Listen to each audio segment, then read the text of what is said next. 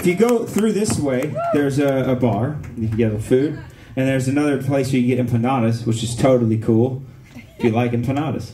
Thanks, John. Yep. And here they got Uh, the, there's a- they got the beef, jerk chicken, and vegan option. What do you call them, jerk? There's a, a place in the corner where uh, they sell Killola shirts.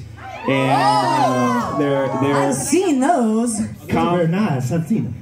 And there's uh, some old stuff that we found in a uh, in an abandoned Literally coal in a- shaft yeah. outside of Zzyzx in uh, in, uh but Is it's a, yeah, way- we is found that it in a on the way box. to Vegas? Yeah. Oh yeah, I love Zzyzx. Yeah, it's where you store all your merch. And uh, so there's that, and uh, feel free to go talk to the guy's name's Give it Ryan. up for Dan Gordy though right now too. Okay. Fucking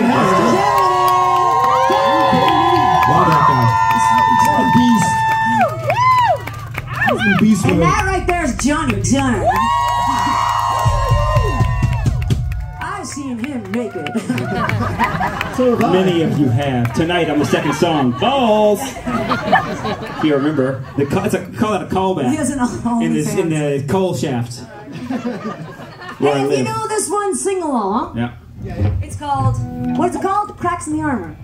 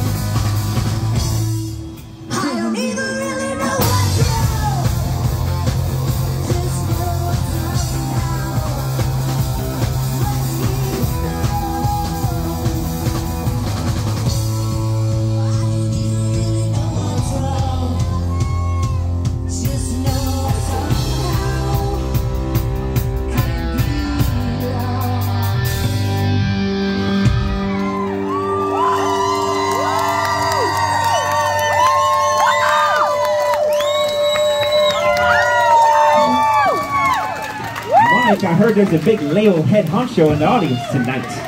There's a big label head honcho in the audience Oh, tonight. you Uh, he's looking for a job. Hope we get a Maybe we can hire him. That's the that's that's the I flip that bit on its head.